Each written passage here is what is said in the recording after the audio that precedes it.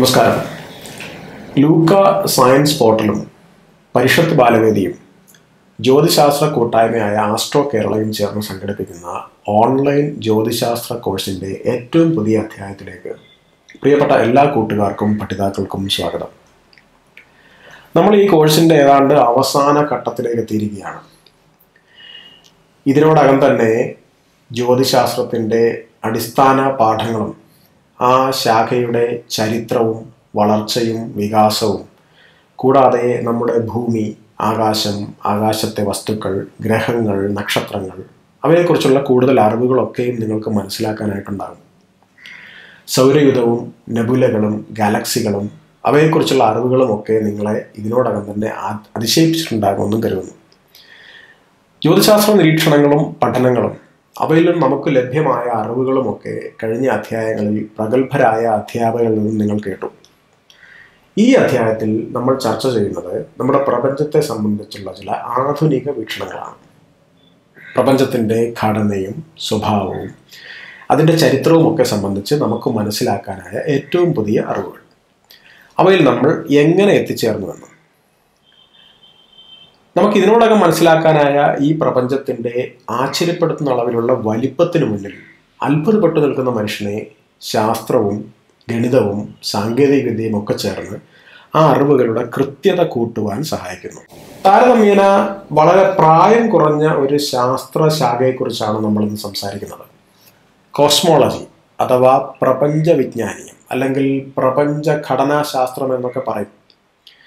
നേരത്തെ സൂചിപ്പിച്ചതുപോലെ പ്രപഞ്ചത്തിന്റെ ഉത്ഭവം പരിണാമം ഘടന എന്നിവയെപ്പറ്റി പ്രതിപാദിക്കുന്ന ശാസ്ത്രശാഖയാണ് പ്രപഞ്ചവിജ്ഞാനീയം പ്രപഞ്ചം അഥവാ പഠനം എന്ന അർത്ഥം വരുന്ന കോസ്മോസ് എന്ന വാക്ക് അതുപോലെ പഠനം എന്നതിന് ലോഗോസ് എന്ന ഗ്രീക്ക് വാക്കിൽ നിന്നാണ് കോസ്മോളജി എന്ന ഇംഗ്ലീഷ് പദത്തിന്റെ ഉൽപ്പത്തി.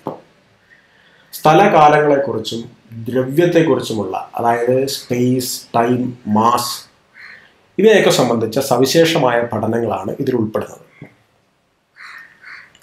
വളരെ ശൈശവാവസ്ഥയിലുള്ള ഒരു പഠനശാഖയാണ് കോസ്മോളജി എന്ന് ഞാൻ പറഞ്ഞല്ലോ. ഏതാണ്ട് നൂറ് വർഷത്തെ പഴക്കം മാത്രമേ ഈ ശാസ്ത്രശാഖയ്ക്കുള്ളൂ.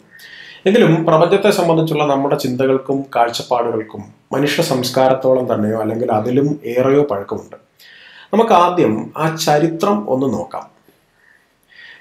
ഈ കോസ്മോളജിയെ സംബന്ധിച്ചുള്ള ആശയധാരയുടെ ആദ്യം നിലനിന്നിരുന്നത് ശാസ്ത്ര നിരീക്ഷണങ്ങളെക്കാൾ കൂടുതൽ അല്പം തത്വചിന്താപരമായ കാഴ്ചപ്പാടുകളാണ്.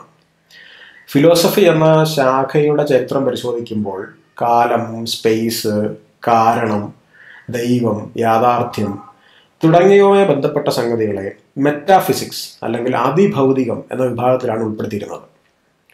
പ്രപഞ്ചം അതിന്റെ ഘടന ഉള്ളടക്കം ഇവയൊക്കെ സംബന്ധിച്ച് ഏറ്റവും പ്രാകൃതവും പരിമിതവുമായ പരീക്ഷണ നിരീക്ഷണ അറിവുകളും ആശയങ്ങളുമുള്ള കാലഘട്ടത്തിൽ മുതൽ അവയൊക്കെ കൂട്ടിവെച്ച് വിശകലനം ചെയ്ത് വിവിധ സംസ്കാരങ്ങളിൽ മനുഷ്യൻ പ്രപഞ്ചം എന്താണെന്നും അതെങ്ങനെ പ്രവർത്തിക്കുന്നു എന്നതിനെക്കുറിച്ചുള്ള ഒരുപാട് മാതൃകകൾ മുന്നോട്ട് വെച്ചിട്ടുണ്ട്. ഭൂമി ഗ്രഹങ്ങൾ ഉപഗ്രഹങ്ങൾ നക്ഷത്രങ്ങൾ നക്ഷത്രക്കൂട്ടങ്ങൾ ഇവയുടെയൊക്കെ സ്ഥാനം ചലനം ഘടന സവിശേഷതകൾ എന്നിവയൊക്കെ ഒരുപാട് നാളുകൾക്ക് മുമ്പ് തന്നെ മനുഷ്യൻ ശ്രദ്ധിക്കുകയും അറിയുകയും പഠിക്കുകയും ഒക്കെ ചെയ്തു എന്ന് ഈ കോഴ്സിന്റെ മുൻ അധ്യായങ്ങളിൽ നിന്ന് നിങ്ങൾക്ക് മനസ്സിലായിട്ടുണ്ടാവുമല്ലോ. കുറച്ചുകൂടി വിശാലമായ ഒരു ആശയമാണ് കോസ്മോളജിയുടേത്. ഞാനും നിങ്ങളും ഈ ഭൂമിയും അതിലുൾപ്പെട്ട എല്ലാം കൂടാതെ നേരത്തെ പറഞ്ഞതുപോലെ ഗ്രഹങ്ങളും നക്ഷത്രങ്ങളും ഗാലക്സികളും അതിന്റെ ഇടയിലുള്ള സ്ഥലങ്ങളും കാലവും സമയവും ഒക്കെ ചേർന്നതാണ് ഈ പ്രപഞ്ചം. അങ്ങനെ എല്ലാ വസ്തുക്കളെയും സംബന്ധിച്ചുള്ള അല്ലെങ്കിൽ അതിന്റെ ഉത്ഭവവും ഘടനയും സ്വഭാവ സവിശേഷതകളും അവ എങ്ങനെ പ്രവർത്തിക്കുന്നുവെന്നും അതിന്റെ ഭാവി എന്തായിരിക്കും എന്നൊക്കെയുള്ള പഠനമാണ് കോസ്മോളജി. ലോകത്ത് രൂപപ്പെട്ട പല സംസ്കാരങ്ങളിലും പല തരത്തിലുള്ള സങ്കല്പങ്ങളാണ് പ്രപഞ്ചത്തെക്കുറിച്ച് ഉണ്ടായിരുന്നത് ആകാശം സ്വർഗത്തിലെ നൈൽ നദിയാണെന്നും അതിലൂടെ സൂര്യൻ ഒരു തോണിയിൽ കിഴക്ക് നിന്ന് പടിഞ്ഞാറോട്ടേക്ക് തുഴഞ്ഞു നീങ്ങുന്നുവെന്നുമാണ് ഈജിപ്തുകാർ വിശ്വസിച്ചിരുന്നത്. ബാബലോണിയക്കാരുടെ പ്രപഞ്ച സങ്കല്പത്തിൽ ഭൂമിയുടെ മധ്യഭാഗം പൊള്ളയായ ഒരു വലിയ പർവതമാണ്. അതിനു ചുറ്റും കടലും ആ കടലിൽ നിലകൊള്ളുന്ന നമ്മുടെ ആവാസ വ്യവസ്ഥയും ഒക്കെ ഉണ്ട്. ഹിന്ദു സങ്കല്പങ്ങളിലാണെങ്കിൽ യുഗാന്തര പ്രളയത്തിൽ ബ്രഹ്മാവിന്റെ സൃഷ്ടിയാണ് ലോകം എന്നാണ് ഉദ്ഘോഷിക്കുന്നത്. ജൈന ബുദ്ധ ദർശനങ്ങളിലും പ്രപഞ്ചത്തെക്കുറിച്ച് പരാമർശമുണ്ട്. ജൈനന്മാരുടെ പ്രപഞ്ച ചിത്രം സൂചിപ്പിക്കുന്നത് പ്രപ സൂചിപ്പിക്കുന്നത് പ്രപഞ്ച കേന്ദ്രത്തിൽ സുദർശന മേരു എന്ന ഒരു വലിയ പർവതം നിലകൊള്ളുന്നുവെന്നും അതിനു ചുറ്റും മഹോദതി എന്ന് പറയുന്ന ഒരു സമുദ്രം ഉണ്ടായിരുന്നു എന്നൊക്കെയാണ് അവർ വിശ്വസിക്കുന്നത്. തങ്ങളുടെ ചുറ്റിലും ദൃശ്യമാവുന്ന ഇവിടെ വലിയ പതിപ്പുകളായിരിക്കും പ്രപഞ്ചത്തിൽ എമ്പാടും എന്നാണ് അന്നത്തെ മനുഷ്യർ കരുതിയിരുന്നത്. ആദ്യകാല ഗ്രീക്ക് ചിന്തകരാണ് പ്രപഞ്ചത്തിന്റെ ഉൽപ്പത്തി ഘടന ഇവ സംബന്ധിച്ചുള്ള നിശ്ചിതമായ ചില സങ്കല്പങ്ങൾ കൊണ്ടുവന്നത്. ഗ്രീക്ക് ചിന്തകനായിരുന്ന അനാക്സിമണ്ടൻ അദ്ദേഹത്തെ പ്രപഞ്ച വിജ്ഞാനീയത്തിന്റെ പിതാവ് എന്ന നിലയ്ക്കും നമ്മൾ പരിഗണിക്കുന്നുണ്ട്. അദ്ദേഹം അഭിപ്രായപ്പെട്ടത് ഒരു മൗലികമായ ഇടത്തിൽ നിന്ന് രൂപം കൊള്ളുകയും അവയിലേക്ക് തന്നെ തിരികെ പോവുകയും ചെയ്യുന്നതാണ് പ്രപഞ്ചത്തിലെ സകലതും എന്നാണ്. തെയിൽസ് അനാക്സിമനസ് തുടങ്ങിയ ചിന്തകർ ഇവരെല്ലാം ഗ്രീക്ക് ചിന്തകരാണ്. അവരൊക്കെ പഞ്ചഭൂത സിദ്ധാന്തവുമായിട്ട് ബന്ധപ്പെട്ട ആശയങ്ങളാണ് കൊണ്ടുവന്നത്. എല്ലാം ജലത്താൽ നിർമ്മിക്കപ്പെട്ടിരിക്കുന്നു എല്ലാം വായുവാൽ നിർമ്മിക്കപ്പെട്ടിരിക്കുന്നു തുടങ്ങിയ ഭാവനകളാണ് അവർ മുന്നോട്ട് വെച്ചത്. അന്ന് വസ്തുക്കളുടെ ഘടന സംബന്ധിച്ച് അല്ലെങ്കിൽ അവ എങ്ങനെ നിർമ്മിക്കപ്പെടുന്നു അതിന്റെ അടിസ്ഥാന ഘടകങ്ങൾ എന്തൊക്കെയാണെന്നതിനെ കുറിച്ച് വലിയ അറിവുകളൊന്നും നമുക്കില്ലായിരുന്നു. അതുകൊണ്ടാണ് അവർ അന്ന് അങ്ങനെ ചിന്തിച്ചത്. തുടക്കവും ഒടുക്കവും ഇല്ലാത്ത പ്രപഞ്ചത്തെക്കുറിച്ച് പ്രാചീന കാല കാലത്ത് തന്നെ അരിസ്റ്റോട്ടൽ ഉൾപ്പെടെയുള്ള പല ചിന്തകരും ചിന്തിച്ചിരുന്നു. എന്നാൽ ജൂത ക്രിസ്ത്യൻ മുസ്ലിം മതവിശ്വാസത്തിലുള്ളവർക്ക് ഇത് അത്ര അംഗീകരിക്കാനാവുന്ന കാര്യമല്ലായിരുന്നു. വീണ്ടും വീണ്ടും ഉണ്ടാവുകയും നശിക്കുകയും ചെയ്യുന്ന പ്രപഞ്ചം എന്ന ആശയം അതായത് ചാക്രിക പ്രപഞ്ചം. ആദ്യം സങ്കല്പിച്ചത് ഹൈന്ദവ പ്രപഞ്ച സങ്കല്പങ്ങളിലായിരുന്നിരിക്കണം പതിനെട്ടാം ശതകത്തിൽ ഇറാസ്മസ് ഡാർവിൻ ചാക്രികമായി വികസിക്കുകയും ചുരുങ്ങുകയും ചെയ്യുന്ന പ്രപഞ്ചം എന്നൊരു ആശയം കൊണ്ടുവന്നു. ഒരു ബിന്ദുവിൽ നിന്ന് തുടങ്ങുകയും എന്നിട്ട് വികസിച്ച് ഒരു പരിധി എത്തുമ്പോൾ ചുരുങ്ങി തുടങ്ങുകയും ചെയ്യുന്ന അത്തരത്തിലൊരു പ്രക്രിയ ആവർത്തിക്കുകയും ചെയ്യുന്ന പ്രപഞ്ചത്തെക്കുറിച്ച് പത്തൊമ്പതാം നൂറ്റാണ്ടിൽ ശാസ്ത്രഭാവന പടവും സാഹിത്യകാരനും ഒക്കെ ആയിരുന്ന എഡ്ഗാർ അലൻ പോ എഴുതി എഴുതിയിട്ടുണ്ടായിരുന്നു. പക്ഷെ അത് ശാസ്ത്രീയമായിരുന്നു എന്ന് അദ്ദേഹം പോലും അന്ന് അവകാശപ്പെട്ടിരുന്നില്ല. അതൊരു ഫിക്ഷൻ കാറ്റഗറിയിലാണ് വന്നിരുന്നത്. എന്നാൽ ശാസ്ത്ര സാങ്കേതിക വിദ്യയുടെ അറിവിന്റെ വിശാലതയുടെ ഒക്കെ അഭൂതപൂർവമായ വലിപ്പം വെക്കലിലൂടെ പ്രപഞ്ചത്തെയും അതിന്റെ രൂപം ഭാവം ഇവയൊക്കെ സംബന്ധിച്ച കുറച്ചുകൂടെ യാഥാർത്ഥ്യബോധത്തോടെയുള്ള കാഴ്ചപ്പാടുകൾ അറിവുകളൊക്കെ നേടാൻ നമുക്ക് കഴിഞ്ഞു. നൂറ്റാണ്ടുകളിലൂടെ നേടിയ ശാസ്ത്ര പുരോഗതിയോടൊപ്പം പ്രപഞ്ച വീക്ഷണത്തിലും കാലാനുസൃതമായ മാറ്റങ്ങൾ വന്നു. പതിനാറാം നൂറ്റാണ്ടിൽ ജ്യോതിശാസ്ത്രത്തിലും പ്രപഞ്ചത്തെ സംബന്ധിച്ചുള്ള നമ്മുടെ കാഴ്ചപ്പാടിലും വിപ്ലവകരമായ ആശയങ്ങൾ അവതരിപ്പിക്കപ്പെട്ടു. ഡാനിഷ് ശാസ്ത്രജ്ഞനായിരുന്ന ടൈക്കോ ബ്രാഹ ഉണ്ടാക്കിയ പ്രപഞ്ച മാതൃകയായ ടൈക്കോണിക് മോഡൽ അതിലാണെങ്കിൽ ഭൂമിയാണ് കേന്ദ്രം. സൂര്യനും ഗ്രഹങ്ങളും ഭൂമിക്ക് ചുറ്റും കറങ്ങുന്നു. ഭൂമി പ്രപഞ്ചത്തിന്റെ തന്നെ കേന്ദ്രമാണ്. ഇങ്ങനെയാണ് അദ്ദേഹം കരുതിയിരുന്നത്. പ്രപഞ്ചത്തെ സംബന്ധിച്ച് അന്നുണ്ടായിരുന്ന ധാരണ അനുസരിച്ച് ഭൂമിയായിരുന്നു എല്ലാം. എല്ലാം എല്ലാം ഭൂമിയായിരുന്നു. ഒരു കൂറ്റൻ ഗോളമാണ് ഭൂമി ഒരു കൂറ്റൻ ഗോളമാണെന്നും അതിന്റെ ചുറ്റിക്കൊണ്ടിരിക്കുന്ന ഗോളങ്ങളാണ് സൂര്യനും ചന്ദ്രനും ബുധനും ശുക്രനും എന്നൊക്കെയായിരുന്നു പൊതുധാരണ. ഈ ടൈക്കോ ബ്രാഹയുടെ ശിഷ്യനായിരുന്ന ജോഹാൻസ് കപ്ലർ ഗ്രഹചലന നിയമങ്ങൾ ആവിഷ്കരിച്ചുകൊണ്ട് ജ്യോതിശാസ്ത്രത്തിൽ ഒരു പുതിയ യുഗത്തിന് തുടക്കം കുറിച്ചു.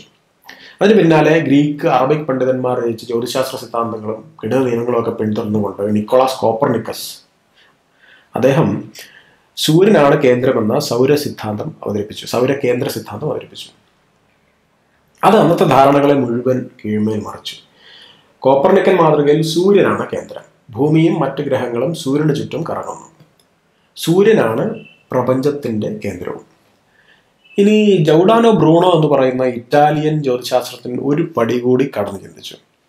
സൂര്യൻ ഒരു സാധാരണ നക്ഷത്രം മാത്രമാണെന്നും ആകാശത്ത് കാണുന്ന മറ്റു നക്ഷത്രങ്ങളും സൂര്യനെ പോലെ പ്രഭയുള്ളവയാണെന്നുമൊക്കെ അവ ഏറെ ദൂരത്തിലായതുകൊണ്ടാണ് മങ്ങിക്കാണുന്നതുമൊക്കെ ബ്രൂണോ പറഞ്ഞു. മാത്രമല്ല ഈ വിദൂര നക്ഷത്രങ്ങളുടെ ചുറ്റും ഗ്രഹങ്ങളും അവയിൽ ജീവനുമൊക്കെ ഉണ്ടാവും എന്നുകൂടി അദ്ദേഹം പറഞ്ഞു വെച്ചിട്ടുണ്ടായിരുന്നു. പ്രപഞ്ചം അനന്തമാണെന്നും അതിനൊരു കേന്ദ്രമില്ലെന്നും ബ്രൂണോ വാദിച്ചു. ഈ പരമ്പരാഗത വിശ്വാസങ്ങളെ മുറുകെ പിടിക്കുന്നവർക്ക് അതത്ര രസിച്ചില്ല. അതിന്റെ ഫലമായി അവിടുത്തെ മത മേലധികാരികൾ ബ്രൂണോയെ ജീവനോടെ ചുട്ടരിച്ചു. ബ്രൂണോയുടെ മാതൃകയിൽ ഭൂമിക്കോ സൂര്യനോ പ്രപഞ്ചത്തിൽ പ്രത്യേകമായ സ്ഥാനമൊന്നുമില്ല. നക്ഷത്രങ്ങൾക്കിടയിലുള്ള സ്ഥലം ഈഥർ എന്ന പദാർത്ഥം കൊണ്ട് നിറഞ്ഞിരിക്കുന്നുവെന്നും ആ പദാർത്ഥം ഉണ്ടാക്കിയിരിക്കുന്നത് നേരത്തെ സൂചിപ്പിച്ച പോലെ വെള്ളം ഭൂമി വായു തീ എന്നിവയൊക്കെ കൊണ്ടാണെന്നുമൊക്കെയുമാണ് അദ്ദേഹം അവകാശപ്പെട്ടിരുന്നത്. ഇപ്പോൾ വിവിധ ദേശങ്ങളിൽ പല കാലങ്ങളായി മനുഷ്യരൂപം കൊടുത്ത പ്രപഞ്ച ഘടനാ സങ്കല്പങ്ങൾ പരിശോധിച്ചാൽ അവയെല്ലാം തങ്ങൾ നയിച്ചിരുന്ന ജീവിത സാഹചര്യങ്ങളോട് ബന്ധപ്പെട്ടവയാണെന്ന് നമുക്ക് മനസ്സിലാവും. വ്യക്തികളുടെയും സമൂഹത്തിന്റെയും സാമൂഹികമോ ദാർശനികമോ ശാസ്ത്രീയവുമായ അഭിരുചികൾക്കനുസരിച്ചാണ് അക്കാലങ്ങളിൽ നിലനിന്നിരുന്ന പ്രപഞ്ച ഘടനാ സങ്കല്പങ്ങളെല്ലാം തന്നെ.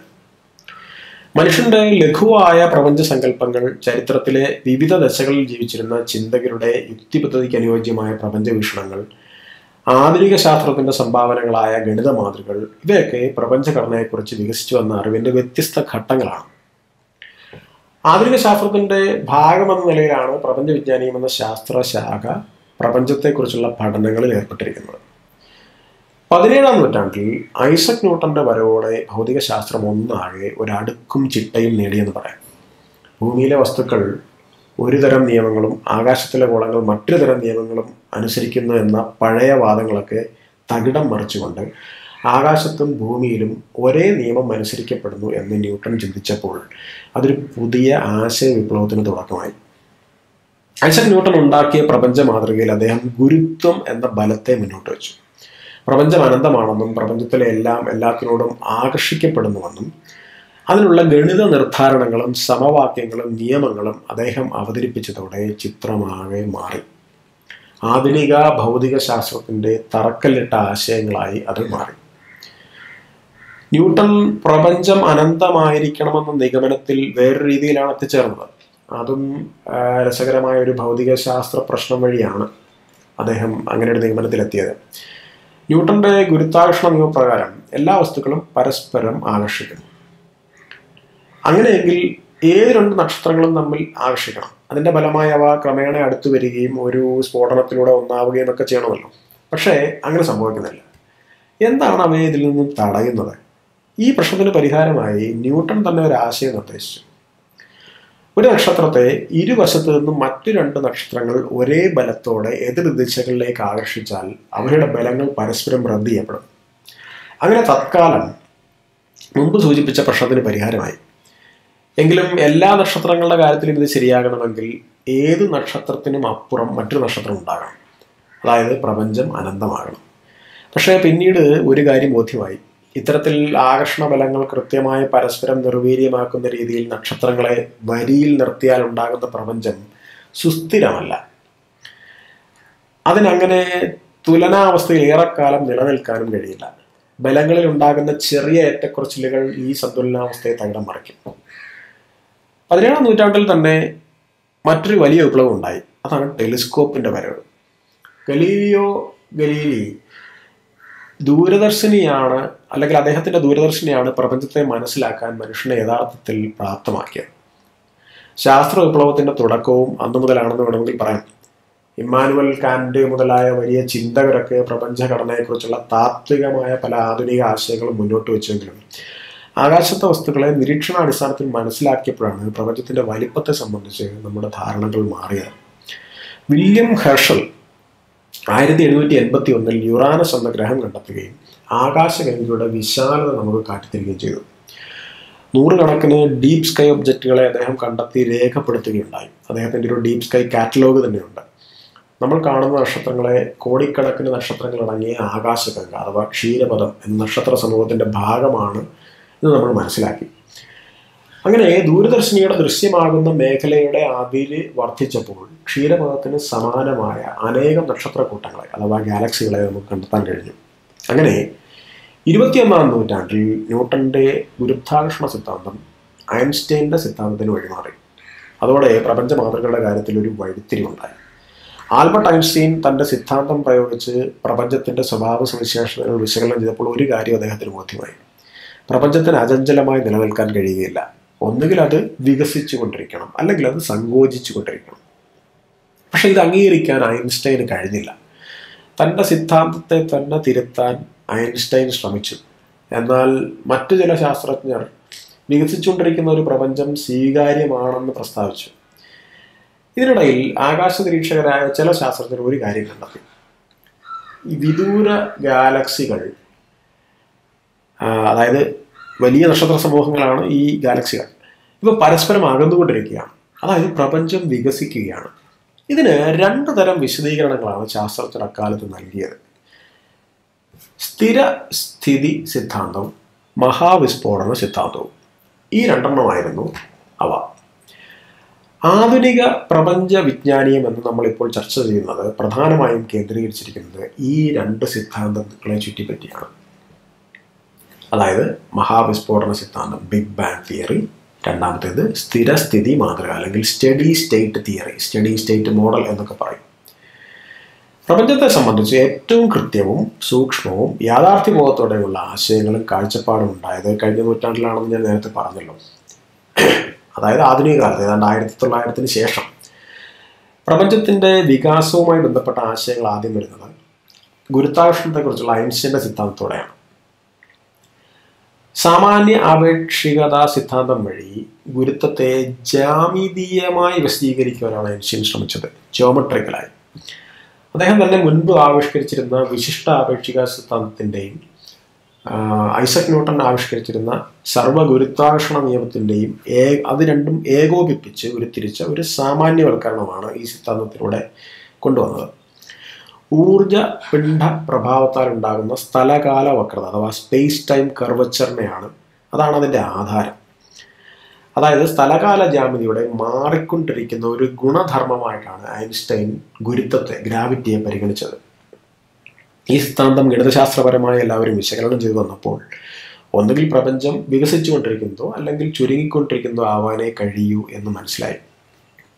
നേരത്തെ സൂചിപ്പിച്ചതുപോലെ ഐൻസ്റ്റൈന് അത് സ്വീകാര്യമല്ലാത്തത് കൊണ്ട് പ്രപഞ്ചം സ്ഥിരതയുള്ളതായിരിക്കണമെന്നും അദ്ദേഹം വിശ്വസിച്ചിരുന്നുകൊണ്ട് അദ്ദേഹം സിദ്ധാന്തത്തിൽ അതിൽ പുതിയതായിട്ടൊരു അചരം ചേർത്തു. പ്രപഞ്ചവിജ്ഞാനീ അചരം ഒരു കോൺസ്റ്റന്റ് കോസ്മോളജിക്കൽ കോൺസ്റ്റന്റ് എന്നാണ് അദ്ദേഹം അതിനെ പേരിട്ടത്. എന്നാൽ ഇത് ശരിയല്ല എന്ന് അദ്ദേഹത്തിന് പിന്നീട് തോന്നി. പിന്നീട് അദ്ദേഹം ആ ആശയം ഉപേക്ഷിക്കുകയും ഒക്കെ ചെയ്തു. ഈ അചരം ഉൾപ്പെടുത്താത്ത തന്നെ ഐൻസ്റ്റൈന്റെ സമവാക്യങ്ങൾ ഉപയോഗിച്ച് പ്രപഞ്ചത്തെക്കുറിച്ച് പഠിച്ച ആദ്യത്തെ ശാസ്ത്രജ്ഞൻ റഷ്യക്കാരനായിരുന്ന അലക്സാണ്ടർ ഫ്രീഡ്മാൻ എന്നയാളാണ്. ആയിരത്തി തൊള്ളായിരത്തി ഇരുപത്തിനാലിലാണ് അദ്ദേഹത്തിന്റെ പ്രബന്ധങ്ങൾ ബെൽ അക്കാദമി പ്രസിദ്ധീകരിക്കുന്നത്. ഇന്നും ഈ ഫ്രീഡ്മാൻ സമവാക്യങ്ങളാണ് പ്രപഞ്ച വിജ്ഞാനീയത്തിന്റെ ആണിക്കല്ലുകളായി നിലനിൽക്കുന്നത്. ആയിരത്തി തൊള്ളായിരത്തി ഇരുപതുകളിൽ ബെൽജിയൻ ശാസ്ത്രജ്ഞനായിരുന്ന ജോർജ് ലിമൈത്രാണ് ഒരു സ്ഫോടനത്തിലൂടെയാണ് പ്രപഞ്ചമുണ്ടായെന്ന ആശയം ആദ്യമേ അവതരിപ്പിച്ചത്. അദ്ദേഹം ഒരു പുരോഹിതൻ കൂടിയായിരുന്നു കേട്ടോ. ആയിരത്തി തൊള്ളായിരത്തി ഇരുപത്തി ഏഴിൽ അദ്ദേഹം വികസിച്ചുകൊണ്ടിരിക്കുന്ന പ്രപഞ്ചത്തെക്കുറിച്ചുള്ള തന്റെ സിദ്ധാന്തം കൊണ്ടുവരികയും അകലത്തുള്ള ചില ഖഗോള വസ്തുക്കളിൽ കണ്ട റെഡ് ഷിഫ്റ്റ് ചുവപ്പ് നീക്കം വിശദീകരിക്കുകയും ചെയ്തു. എല്ലാ ദിക്കുകളിലും കാണുന്ന നക്ഷത്ര സമൂഹങ്ങൾ ഭൂമിയിൽ നിന്ന് അകന്നുകൊണ്ടിരിക്കുകയാണെന്ന് ആയിരത്തി തൊള്ളായിരത്തി ഇരുപത്തി ഒൻപതിൽ എഡ്വിൻ ഹബിൾ എന്ന ശാസ്ത്രജ്ഞൻ കണ്ടെത്തി. ഇത് ലിമേത്രന്റെ സിദ്ധാന്തത്തിന് ഒരു പിന്തുണയും പിൻബലവും ഒക്കെ നൽകി. പ്രപഞ്ചം ഒരു വിസ്ഫോടനത്തിൽ നിന്നാണ് ആരംഭിച്ചതെന്ന ആശയം ഇതേ തുടർന്നാണ് ആയിരത്തി തൊള്ളായിരത്തി മുപ്പത്തി ഒന്നിൽ ലിമേത്തർ മുന്നോട്ട് വെക്കുന്നത്. കൂടുതൽ ദൂരത്തിലുള്ള നക്ഷത്ര സമൂഹങ്ങളുടെ ചുവപ്പ് നീക്കം കൂടുതലാണ് എന്ന് ഹബിൾ കണ്ടെത്തുകയുണ്ടായി അതിനിടയ്ക്ക്. നമ്മളിൽ നിന്നുള്ള ദൂരവും നമ്മളിൽ നിന്ന് അവ അകന്നു പോകുന്നതിന്റെ വേഗതയും ബന്ധപ്പെട്ടിരിക്കുകയാണെന്ന് കൂടി ഹബിൾ മനസ്സിലാക്കി. അപ്പം അങ്ങനെയാണെങ്കിൽ ഒരു സമയത്ത് പണ്ട് നക്ഷത്ര സമൂഹങ്ങളെല്ലാം ഒരുമിച്ച് ചേർന്നിരിക്കുക ആയിരിക്കണമല്ലോ. ഈ ആശയത്തിൽ നിന്നാണ് മഹാവിസ്ഫോടന സിദ്ധാന്തം ആരംഭിക്കുന്നത്. പ്രപഞ്ചോൽപത്തി അതിന്റെ വളർച്ചയും വികാസവും ഒക്കെ വിശദീകരിക്കാൻ ഇന്ന് പൊതുവിൽ അംഗീകരിക്കപ്പെട്ടുള്ളത് മഹാവിസ്ഫോടന സിദ്ധാന്തമാണ്. മിക്കവാറും എല്ലാ പ്രപഞ്ച വിജ്ഞാനീയ ശാസ്ത്രജ്ഞന്മാരും ഈ ശാസ്ത്ര സിദ്ധാന്തത്തെ അംഗീകരിച്ചിരിക്കുന്നു. അത്യധികം സാന്ദ്രമായതും താപവത്തായതുമായ ഒരവസ്ഥയിൽ നിന്ന് വികസിച്ചു പ്രപഞ്ചം ഉടലെടുത്തു എന്നാണ് മഹാവിസ്ഫോടന സിദ്ധാന്തം പറയുന്നത്. ആയിരത്തി തൊള്ളായിരത്തി നാൽപ്പത്തി ഒൻപത് മാർച്ചിൽ ബി ബി സിയിലെ ഒരു പരിപാടിയിലാണ് ഈ ആശയത്തെ കളിയാക്കിക്കൊണ്ട് അതിനെ ബിഗ് ബാങ് എന്ന് വിളിക്കുന്നത്. ഫ്രെഡ് ഹോയിൽ എന്ന് പറയുന്ന ശാസ്ത്രജ്ഞനാണ് ആ പേര് ആദ്യമായിട്ട് പറയുന്നത്. ഗാലക്സികൾ അവയുടെ ദൂരത്തിന് ആനുപാതികമായ വേഗത്തിൽ ഭൂമിയിൽ നിന്ന് അകന്നു പോകുന്നുവെന്ന ഭൗതിക പ്രപഞ്ചശാസ്ത്രത്തിലെ നിരീക്ഷണമാണ് ഹബിൾ നിയമം. ഇതുവരെ ഗാലക്സികളിൽ നിന്നും വരുന്ന പ്രകാശത്തിന്റെ ചുവപ്പ് നീക്കം അഥവാ റെഡ് ഷിഫ്റ്റ് പ്രസ്തുത ഗാലക്സികളിലേക്കുള്ള ദൂരത്തിന് ആനുപാതികമാണ് എന്ന് പ്രസ്താവിക്കുന്ന ഒരു നിയമം കൂടിയാണത്. മറ്റൊരു വിധത്തിൽ പറഞ്ഞാൽ അവ എത്രത്തോളം അകലെയാണോ എത്രയും വേഗത്തിൽ അത്രയും വേഗത്തിൽ അവ ഭൂമിയിൽ നിന്ന് അകന്നു പോകുന്നു എന്നാണ് നമുക്ക് മനസ്സിലാകുന്നത് ഗാലക്സികളുടെ വേഗത നിർണയിക്കുന്നത് അവയുടെ ദൃശ്യ സ്പെക്ട്രത്തിന്റെ ചുവന്ന അറ്റത്തേക്ക് അവ പുറപ്പെടുവിക്കുന്ന പ്രകാശത്തിന്റെ ഒരു ഷിഫ്റ്റ് അഥവാ ചുവപ്പ് ഷിഫ്റ്റ് ചുവപ്പ് നീക്കം റെഡ് ഷിഫ്റ്റ് ആണ്. എഡ്വിൻ ഹബിൾ പ്രപഞ്ച വികാസത്തിന്റെ രഹസ്യങ്ങൾ മനസ്സിലാക്കിയതും അതിലേക്ക് അദ്ദേഹത്തെ നയിച്ച നിരീക്ഷണ ഗവേഷണ പ്രവർത്തനങ്ങളുമൊക്കെ വളരെ കൗതുകമുണ്ടെന്ന കാര്യങ്ങളാണ് കേട്ടോ. അതുപോലെ പ്രപഞ്ച വിജ്ഞാനത്തിന്റെ അടിത്തറ ഭാഗ്യത്തിൽ മറക്കാനാവാത്ത ഒരു പേരാണ് ഹെൻറിയറ്റ ലെവിറ്റ് എന്ന് പറയുന്ന ഒരു വനിതാ ശാസ്ത്രജ്ഞയുടേത്. വിസ്താരഭയത്താൽ ഞാൻ അവയൊന്നും ഇവിടെ അധികം പരാമർശിക്കുന്നില്ല. എന്നാൽ നമ്മുടെ ലൂക്ക മാർക്സിൽ ഇവയെല്ലാം സംബന്ധിച്ചുള്ള വിശദമായ ലേഖനങ്ങൾ നൽകിയിട്ടുണ്ട്. അവയെല്ലാം ഇവയുടെ കൂട്ടിച്ചേർത്ത് വായിക്കുമ്പോൾ നിങ്ങൾക്കൊരു വ്യക്തമായ ചിത്രം കിട്ടും. അവയിലേക്കുള്ള ലിങ്കുകൾ ഞാൻ ഈ വീഡിയോയുടെ ഒപ്പം നൽകുന്നുണ്ട്. പ്രപഞ്ചത്തിന്റെ വികാസത്തിനായി ആദ്യ നിരീക്ഷണാടിസ്ഥാനമായി ഹബിളിന്റെ നിയമം കണക്കാക്കപ്പെടുന്നുണ്ട്. ഇന്ന് ഇത് ബിഗ് ബാങ് മാതൃകയെ പിന്തുണയ്ക്കുന്നതിന് പലപ്പോഴും ഉദ്ധരിക്കപ്പെടുന്ന തെളിവുകളിലൊന്നായിട്ടാണ് വർത്തിക്കുന്നത്.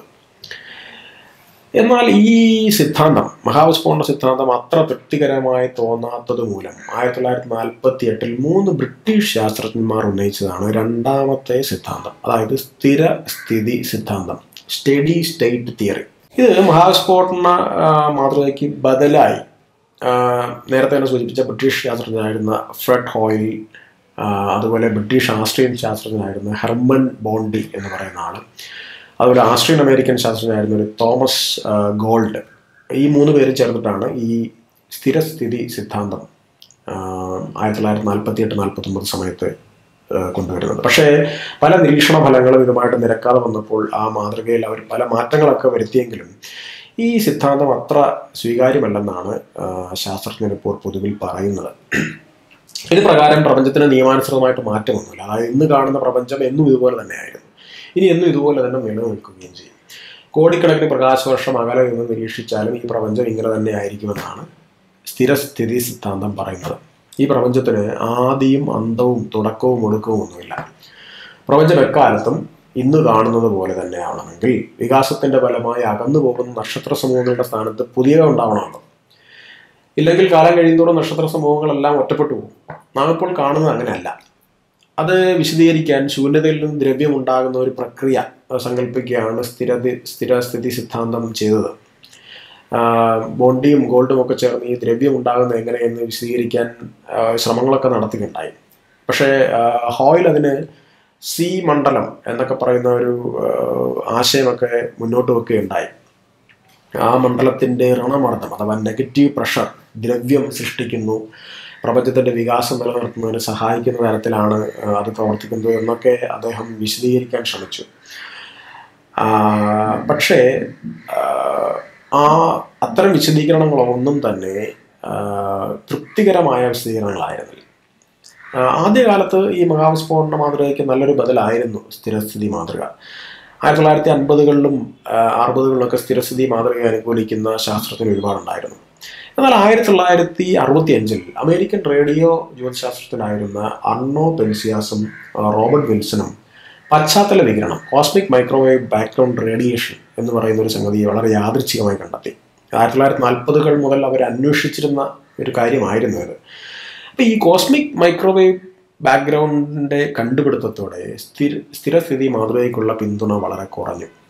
ഇത് കണ്ടെത്തിയതിന് ആയിരത്തി തൊള്ളായിരത്തി എഴുപത്തെട്ടിലെ ഫിസിക്സിന്റെ നോബൽ സമ്മാനം അവർക്ക് ലഭിക്കുകയുണ്ടായി. മൈക്രോ വികിരണത്തിന്റെ ഉത്ഭവവും സ്വഭാവവും തുടങ്ങിയവ വിശദീകരിക്കാൻ ഈ സ്ഥിരസ്ഥിതി മാതൃകയ്ക്ക് ആയില്ല. ഇനി ഈ മഹാസ്ഫോടന സിദ്ധാന്തം അനുസരിച്ച് ബിഗ് ബാങ് തിയറി അനുസരിച്ച് നക്ഷത്രങ്ങൾ ഉണ്ടാകുന്നതിന് മുമ്പുള്ള കാലത്ത് പ്രപഞ്ചത്തിന്റെ താപനില വളരെ ഉയർന്നതായിരുന്നു. വിസ്ഫോടനത്തിലുണ്ടായ ഊർജത്തിന്റെ ഒരു ഭാഗം പ്രകാശമായി പ്രപഞ്ചത്തിലാകെ നിറഞ്ഞു നിൽക്കുകയായിരുന്നു. ക്രമേണ പ്രപഞ്ചം വികസിക്കുകയും അവ തണുക്കുകയും ചെയ്തപ്പോൾ ഈ പ്രകാശത്തിന്റെ താപനിലയും കുറഞ്ഞു. അങ്ങനെയാണ് ഗാമ റൈസ് ഒക്കെ ഉണ്ടാകുന്നത്. ക്രമേണ ഈ പ്രകാശവും ഇൻഫ്രാഡ് രശ്മികളും ഒടുവിൽ മൈക്രോവേവ് തരംഗവും ഒക്കെ ആയി തീർന്നു ആ വികിരണങ്ങൾ. ഇത്തരം ഈ പശ്ചാത്തല വികിരണങ്ങൾ അവയെ അവശിഷ്ട വികിരണം എന്ന പേരിലും അറിയപ്പെടുന്നുണ്ട്.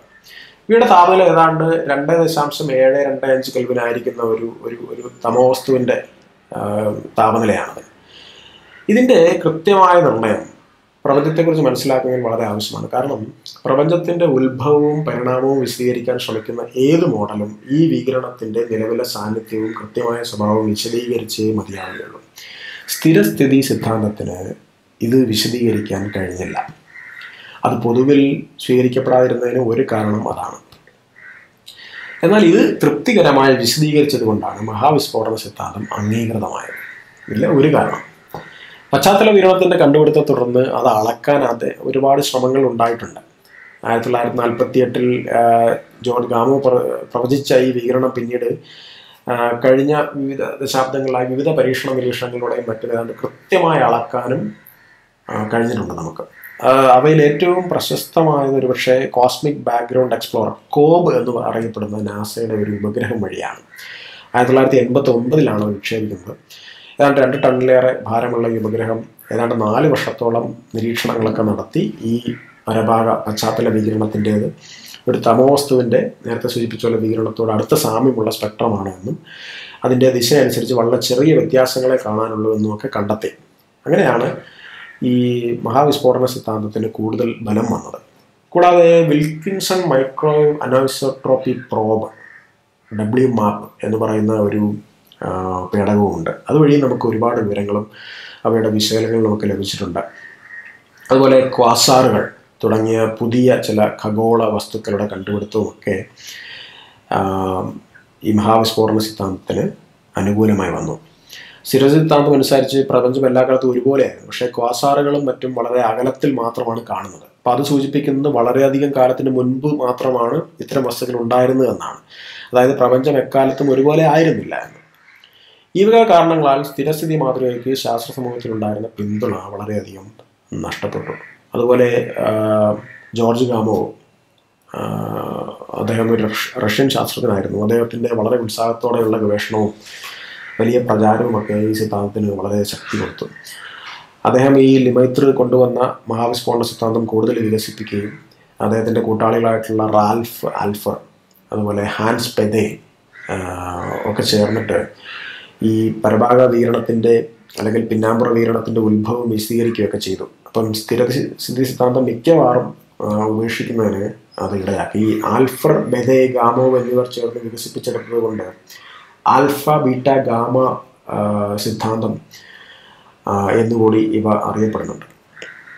ഈ കോസ്മോളജിയിൽ ഏറ്റവും പുതുതായി ഉണ്ടായ ഒരു സുപ്രധാനമായ വഴിത്തിരിവ് വളരെ അടുത്താണ് ഉണ്ടായത്. ആയിരത്തി തൊള്ളായിരത്തി തൊണ്ണൂറ്റി എട്ടിൽ ആയിരത്തി തൊള്ളായിരത്തി തൊണ്ണൂറ്റി എട്ടിൽ സൂപ്പർനോവ കോസ്മോളജി പദ്ധതിയുടെ ഭാഗമായി ടൈപ്പ് വണ്ണെ സൂപ്പർനേവി നിരീക്ഷണങ്ങളിൽ കൂടി കുറച്ച് നിരീക്ഷണ ഫലങ്ങൾ നമുക്ക് ലഭിച്ചു. സ്റ്റാൻഡേർഡ് കാൻഡിലുകളായിട്ടൊക്കെ പരിഗണിച്ച് ഈ സൂപ്പർനോവികളുടെ ചുവപ്പ് നീക്കം റെഡ് ഷിഫ്റ്റ് നിരീക്ഷിച്ചതിലൂടെ ഈ പ്രപഞ്ച വികാസത്തിന്റെ നിരക്ക് സ്ഥിരമല്ല മറിച്ച് അതിന്റെ വേഗത വർദ്ധിച്ചു വരുന്നതായിട്ട് നമുക്ക് മനസ്സിലാക്കാൻ പറ്റി. അതായത് ആക്സിലറേറ്റ് ചെയ്യുന്നുണ്ട്. സ്ഥിരമായ വേഗതയല്ല മറിച്ച് കൂടിക്കൊണ്ടിരിക്കുന്ന വേഗതയാണ്. അമേരിക്കൻ ഗവേഷകരായിട്ടുള്ള സാമുൽ പേൾമെട്ടർ അതുപോലെ ആഡം റീസ് അതുപോലെ ആസ്ട്രേലിയൻ ശാസ്ത്രജ്ഞനായിട്ടുള്ള ബ്രൈൻ ഷ്മിത്ത് ആ, ഇവരൊക്കെ ചേർന്നിട്ടാണ് ഇത് കണ്ടെത്തിയത്. ഇവർക്കിതിന് രണ്ടായിരത്തി പതിനൊന്നിലെ ഭൗതികശാസ്ത്ര നോബൽ സമ്മാനം ലഭിക്കുകയുണ്ടായി. അപ്പോൾ ഐൻസ്റ്റൈൻ നേരത്തെ തള്ളിയ പ്രപഞ്ച സ്ഥിരാംഗം കോസ്മോളജിക്കൽ കോൺസ്റ്റന്റ് ആ ഒരു അചരം അതിന് ഒരു വില കൈവന്നു. അതൊരു വിലയുള്ള ഘടകമായിട്ട് ഉറച്ചു. അതുപോലെ തമോ ഊർജം സംബന്ധിച്ച പരികൽപ്പനകൾക്ക് കൂടുതൽ ശക്തി കൈവന്നു. പ്രപഞ്ചത്തിന്റെ ഘടന വികാസം ഇതേക്കുറിച്ചൊക്കെയുള്ള ചിത്രം കൂടുതൽ തെളിഞ്ഞു വന്നു. ഇത് വളരെ പ്രധാനപ്പെട്ട വളരെ നിർണായകമായ ഒരു വഴിത്തിരിവായിരുന്നു പ്രപഞ്ചവിജ്ഞാനീയത്തിൽ അതായത് പ്രപഞ്ചം വികസിക്കുന്നുണ്ട് വികസിക്കുന്നതിന്റെ വേഗത കൂടി വരുന്നുമുണ്ട്. അതായത് കൂടുതൽ കൂടുതൽ വേഗത്തിൽ പ്രപഞ്ചം പുറമേക്ക് പുറമേക്ക് വികസിച്ചു പോകുന്നു എന്നാണ്. നിലവിൽ ലഭ്യമായ വിവരങ്ങൾ വെച്ച് പ്രപഞ്ചത്തിന്റെ ഘടന ഉത്ഭവ വികാസം ഇവ സംബന്ധിക്കുന്ന ഏറ്റവും ആധികാരികമായ ഒരു മാതൃക ലാംഡ കോൾഡ് ഡാർക്ക് മാറ്റർ മാതൃകയാണ്. ഇതിനെ C D M cold dark matter model C D M model എന്നാണ് പറയുക. നേരത്തെ സൂചിപ്പിച്ച പോലെ ഈ കോസ്മിക് മൈക്രോവേവ് ബാക്ക്ഗ്രൗണ്ട് റേഡിയേഷൻ പരഭാഗ വികിരണത്തിന്റെ സാന്നിധ്യം പ്രപഞ്ച ഘടനയുടെ വികേന്ദ്രീകരണം നക്ഷത്രങ്ങൾ ഗാലക്സികൾ തുടങ്ങിയവിടെ പ്രപഞ്ചത്തിലുള്ള വിന്യാസം അതിന്റെ വികാസം അതിന്റെ ചലനം അതിന്റെ പരിണാമം പ്രപഞ്ചത്തിൽ നമുക്ക് കണ്ടെത്താൻ കഴിഞ്ഞിട്ടുള്ള ഹൈഡ്രജൻ ഹീലിയം മുതലായ മൂലകങ്ങളുടെ അബണ്ടൻസ് അതിന്റെ സുലഭത തുടങ്ങി നമ്മുടെ പരികൽപ്പനകൾക്കും നിരീക്ഷണ ഫലങ്ങൾക്കും ഉതകുന്ന തൃപ്തികരമായ വിശദീകരണങ്ങൾ പ്രദാനം ചെയ്യുന്ന ഒരു പ്രപഞ്ച മാതൃകയാണ് ഈ lambda cold dark matter model. ഈ മാതൃക പ്രകാരം പ്രക- പ്രപഞ്ചത്തിന്റെ പ്രായം ആയിരത്തി മുന്നൂറ്റി എൺപത് കോടി വർഷങ്ങളാണ്. അതിന്റെ ഘടനയാണെങ്കിൽ ഏതാണ്ട് അറുപത്തിയെട്ട് എഴുപത് ശതമാനത്തോളം തമോ ഊർജമാണ് ഇരുപത്തിയാറ് ശതമാനം തമോ ദ്രവ്യം. അത് കഴിഞ്ഞ് ബാക്കി ഏതാണ്ട് അഞ്ച് ശതമാനത്തിൽ താഴെ മാത്രമേ ദൃശ്യമായ ദ്രവ്യം ഉള്ളൂ. ഈ മാതൃകാ പ്രകാരം പ്രപഞ്ചത്തിൽ മൂന്ന് പ്രധാന ഘടകങ്ങളാണ് ഉൾക്കൊള്ളുന്നത്.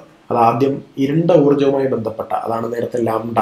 ഗ്രീക്ക് ആൽഫബറ്റിലെ ലാംഡ സൂചിപ്പിക്കുന്ന ഒരു പ്രപഞ്ച സ്ഥിരാങ്കമാണത്. രണ്ടാമതായി ഞാൻ പറഞ്ഞ കോൾഡ് ഡാർക്ക് മാറ്റർ. അതിനെ ചുരുക്കത്തിൽ ഡബിൾ സി ഡി എം എന്ന് പറയും. മൂന്നാമത് ദൃശ്യമായ പ്രപഞ്ചം അല്ലെങ്കിൽ ദ്രവ്യം. പ്രകാശത്തിന്റെ വേഗതയുമായിട്ട് താരതമ്യപ്പെടുത്തുമ്പോൾ ഇരുണ്ട ദ്രവ്യം വളരെ സാവധാനത്തിൽ നീങ്ങുന്നു. അതുകൊണ്ടാണ് അതിനെ കോൾഡ് എന്ന് പറയുന്നത്. ഈ ഡാർക്ക് മാറ്റർ സാധാരണ ദ്രവ്യവുമായും ഇലക്ട്രോ മാഗ്നറ്റിക് സ്പെക്ട്രം അല്ലെങ്കിൽ വൈദ്യുതകാന്തിക വികിരണവുമായും വളരെ ദുർബലമായി മാത്രമാണ് ഇടപഴകുന്നതുകൊണ്ടാണ് അതിനെ ഡാർക്ക് എന്ന് പറയുന്നത്. അപ്പോൾ ഈ കോൾഡ് ഡാർക്ക് മാറ്റർ എന്തൊക്കെ ആവാനുള്ള സാധ്യതകളുണ്ട്? നമുക്കതിനെ നേരിട്ട് കാണാനൊന്നും കഴിയില്ല. അപ്പോൾ അവ തമോതാരങ്ങളാകാം ബ്ലാക്ക് ഹോൾസ് ആകാം വളരെ ദുർബലമായ ബലങ്ങളുള്ള പാർട്ടിക്കിൾസ് ചെറിയ കണികകളാകാം. അവ നമ്മൾ നമ്മൾ കണ്ടെത്താനിരിക്കുന്നതേ ഉള്ളൂ. പ്രപഞ്ചം ആരംഭിച്ചത് ഏകദേശം പതിമൂന്ന് ദശാംശം എട്ട് ബില്യൺ വർഷങ്ങൾക്ക് മുമ്പാണെന്ന് നിരീക്ഷണങ്ങൾ സൂചിപ്പിക്കുന്നത് നമ്മൾ പറഞ്ഞല്ലോ. അതിനുശേഷം പ്രപഞ്ചത്തിന്റെ പരിണാമം പല ഘട്ടങ്ങളിലൂടെ കടന്നു പോയിട്ടുണ്ട് ആദ്യകാല പ്രപഞ്ചത്തിൽ അറിയപ്പെടുന്ന ഒരു ഹൈ എനർജി ഫിസിക്സ് അനുസരിച്ച് പ്രപഞ്ചത്തിന്റെ പരിണാമം നടന്നു. ആദ്യം പ്രോട്ടോണുകളും ഇലക്ട്രോണുകളും ന്യൂട്രോണുകളും പിന്നീട് ന്യൂക്ലിയസും ഒടുവിൽ ആറ്റങ്ങളും രൂപപ്പെട്ടതൊക്കെ ആ തുടക്കത്തിലെ സമയത്താണ് ഏർലി യൂണിവേഴ്സ് ന്യൂട്രൽ ഹൈഡ്രജന്റെ രൂപീകരണത്തോടെയാണ് നമ്മൾ നേരത്തെ പറഞ്ഞ പശ്ചാത്തല വികിരണം കോസ്മിക് മൈക്രോവേവ് പശ്ചാത്തലം വികിരണം രൂപപ്പെടുന്നത്. അവസാനമായി ഘടനാ രൂപീകരണത്തിന്റെ ഒരു യുഗമാണ് അതായത് സ്ട്രക്ചർ ഫോർമേഷൻ ദ്രവ്യം എന്നത് ആദ്യത്തെ നക്ഷത്രങ്ങളിലേക്കും ക്വാസാറുകളിലേക്കും ഒക്കെ സമാഹരിക്കാൻ തുടങ്ങിയപ്പോൾ ആത്യന്തികമായി ഗാലക്സികളും ഗാലക്സികളുടെ വലിയ കൂട്ടങ്ങൾ സൂപ്പർ ക്ലസ്റ്ററുകളും കൂട്ടങ്ങളും ഒക്കെ രൂപപ്പെട്ടു. പ്രപഞ്ചത്തിന്റെ ഭാവിയെക്കുറിച്ച് പറയുകയാണെങ്കിൽ അവ കൃത്യമായി പ്രവചിക്കാൻ നമുക്കിതിടെ ആയിട്ടില്ല. എന്നാൽ lambda C D M model അനുസരിച്ച് അത് എന്നേക്കുമായി വികസിച്ചുകൊണ്ടേയിരിക്കുമെന്നാണ് നാം അനുമാനിക്കുന്നത്. മഹാവിസ്ഫോടന സിദ്ധാന്തത്തിൽ ഊന്നിയുള്ള പ്രപഞ്ച മാതൃക പരിപൂർണമാണെന്നല്ല.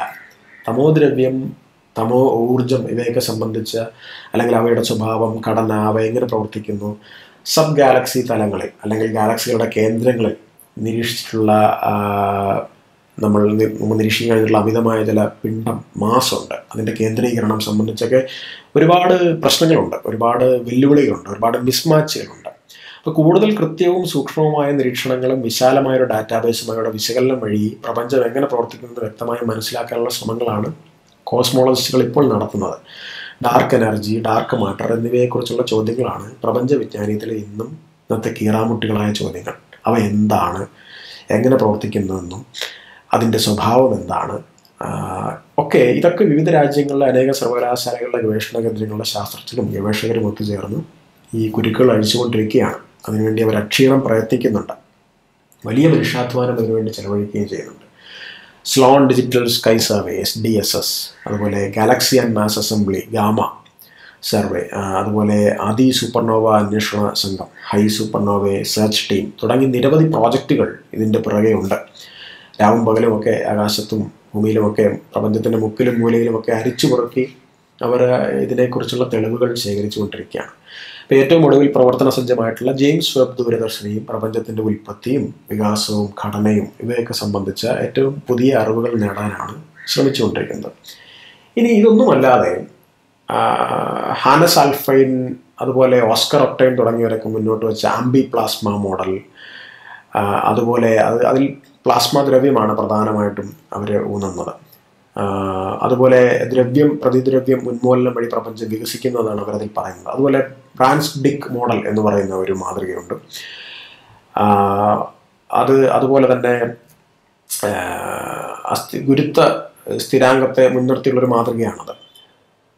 അതുപോലെ വികാസപരിണാമത്തിന് വികാസ പരിണാമത്തിന് പ്രപഞ്ചത്തിന്റെ ദ്രാവക സവിശേഷതകൾ ഊന്നിക്കൊണ്ടുള്ള ബൾക്ക് വിസ്കസ് മോഡൽ. എന്ന് പറയുന്ന മറ്റൊരു മാതൃക ഉണ്ട്.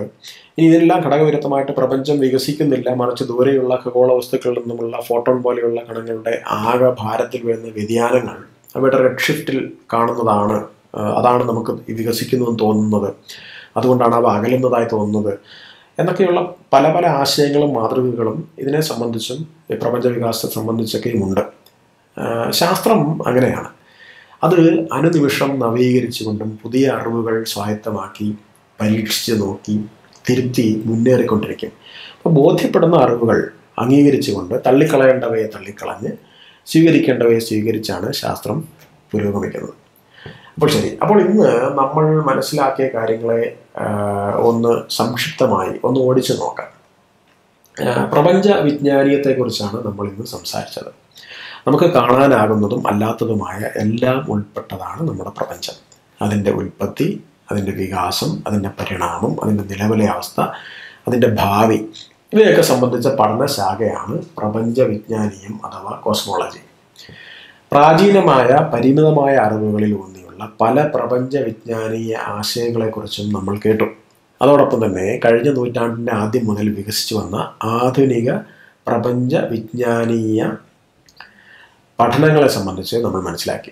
ന്യൂട്ടന്റെയും ആൽബർട്ട് ഐൻസ്റ്റീന്റെയും ആശയങ്ങളിൽ നിന്ന് തുടങ്ങി ഹബിളിന്റെയും ഒക്കെ ഗവേഷണങ്ങളിലൂടെയും പഠനങ്ങളിലൂടെയും ആ ശാഖ ആധുനിക ശാസ്ത്രത്തിൽ പ്രധാനപ്പെട്ട ഒരു പഠന മേഖലയായി മാറി. പ്രപഞ്ചം വികസിക്കുന്നുവെന്നും വികസിക്കുന്ന പ്രപഞ്ചത്തിന്റെ വികാസത്തിന്റെ വേഗത കൂടുന്നുണ്ടെന്നും നമ്മൾ മനസ്സിലാക്കി. പ്രധാനമായും രണ്ട് ആശയങ്ങൾ രൂപപ്പെട്ടു. മഹാവിസ്ഫോടന സിദ്ധാന്തവും സ്ഥിരസ്ഥിതി സിദ്ധാന്തവും. മഹാവിസ്ഫോടന സിദ്ധാന്തം അനുസരിച്ച് പ്രപഞ്ചത്തിന്റെ തുടക്കം ഏതാണ്ട് ആയിരത്തി മുന്നൂറ്റി എൺപത് കോടി വർഷങ്ങൾക്ക് മുൻപ് ഒരു ബിന്ദുവിൽ നിന്നും ആരംഭിച്ചതാണെന്നും അതിനുശേഷം വളരെ പെട്ടെന്ന് അവ വികാസം പ്രാപിച്ച് നാം ഇന്ന് കാണുന്ന പ്രാപഞ്ചികമായ വസ്തുക്കളെല്ലാം തന്നെ രൂപം കൊണ്ടുവന്നാണ് നമുക്ക് മനസ്സിലാക്കാൻ പറ്റുന്നത്. പ്രപഞ്ചം ഇപ്പോഴും വികസിച്ചുകൊണ്ടിരിക്കുന്നു ദൃശ്യപ്രപഞ്ചത്തെക്കാൾ കൂടുതൽ അദൃശ്യ പദാർത്ഥം അഥവാ ഇരുണ്ട പദാർത്ഥമാണ് കൂടുതലായും പ്രപഞ്ചത്തിലുള്ളതെന്നും നമുക്കിപ്പോൾ അറിയാം. പ്രപഞ്ച വികാസ നിരക്ക് വർദ്ധിച്ചു കൊണ്ടിരിക്കുന്നു അതായത് ഒരു ആക്സിലറേറ്റിംഗ് യൂണിവേഴ്സ് ആണ് നമ്മൾക്കിപ്പോൾ ഉള്ളത്.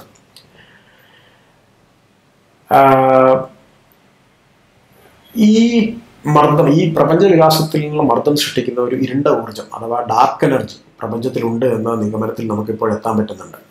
അപ്പം നിരവധി പ്രതിഭാസങ്ങൾ വിശദീകരിക്കാൻ സാധിക്കാത്തതിനാൽ സ്ഥിരസ്ഥിതി സിദ്ധാന്തം നേരത്തെ കാലഹരണപ്പെട്ടു പോയെന്ന് പറഞ്ഞു. അതുപോലെ തന്നെ മഹാവിസ്ഫോടന സിദ്ധാന്തവുമായിട്ട് ബന്ധപ്പെട്ട ചില കാര്യങ്ങളും നമുക്ക് വിശദീകരിക്കാനായിട്ടില്ല. എന്നാൽ നിലവിൽ ഏറ്റവും അധികം അംഗീകരിക്കപ്പെട്ട പ്രപഞ്ച മാതൃക ബിഗ് ബാങ് കോസ്മോളജി അഥവാ സ്റ്റാൻഡേർഡ് മോഡൽ എന്നറിയപ്പെടുന്ന ലാംഡ സി ഡി എം മാതൃകയാണ്. ഇത് പ്രപഞ്ചത്തിലെ നമുക്കിന്നറിയാവുന്ന കോസ്മിക് മൈക്രോവേവ് പശ്ചാത്തലത്തിന്റെ അസ്തിത്വം ഘടന ഗാലക്സികളുടെ വിതരണത്തിൽ വലിയ തോതിലുള്ള സ്ട്രക്ചർ ഫോർമേഷൻ അതിന്റെ ഘടന പ്രപഞ്ചത്തിലെ ഹൈഡ്രജൻ മുതലായ ഹീലിയം ലിഥിയം തുടങ്ങിയവയുടെ സമൃദ്ധി പ്രപഞ്ചത്തിന്റെ ത്വരിതഗതിയിലുള്ള വികാസം മുതലായവയെല്ലാം വളരെ തൃപ്തികരമായി വിശദീകരിക്കുന്നുണ്ട് അങ്ങനെ വിശദീകരിക്കുന്ന ഏറ്റവും ലളിതമായ മോഡലാണത്. ഇവയൊക്കെ സംബന്ധിച്ച് കൂടുതൽ ധാരണകൾ നമുക്ക് ഇനിയും ഉണ്ടാവേണ്ടിയിരിക്കുന്നു. പ്രപഞ്ചത്തെ സംബന്ധിച്ചുള്ള കൂടുതൽ കാര്യങ്ങളും ഇപ്പോഴും നമുക്ക് അറിയില്ല എന്ന് തന്നെയാണ് കരുതേണ്ടത് കേട്ടോ. പ്രപഞ്ചത്തിലെയും അതിന്റെ വസ്തുക്കളെയും അതിന്റെ ഭാവിയെയും ഒക്കെ സംബന്ധിച്ച് വളരെ പ്രധാനപ്പെട്ട കണ്ടെത്തലുകളും നിഗമനങ്ങളും ഒക്കെയും വരാനിരിക്കുന്നതേ ഉള്ളൂ. ഈ കോഴ്സിൽ പങ്കെടുക്കുന്ന ശാസ്ത്ര ജ്യോതിശാസ്ത്ര കുതുകികളായ നിങ്ങളെപ്പോലെയുള്ളവർ ഈ അന്വേഷണങ്ങൾ ഏറ്റെടുക്കണം. അവ തുടരണം. അങ്ങനെ പ്രപഞ്ചത്തിന്റെ കൂടുതൽ കൃത്യവും സൂക്ഷ്മവുമായ ഒരു ചിത്രം നമുക്ക് ലഭിക്കും. എല്ലാവർക്കും ആശംസകൾ അഭിനന്ദനങ്ങൾ.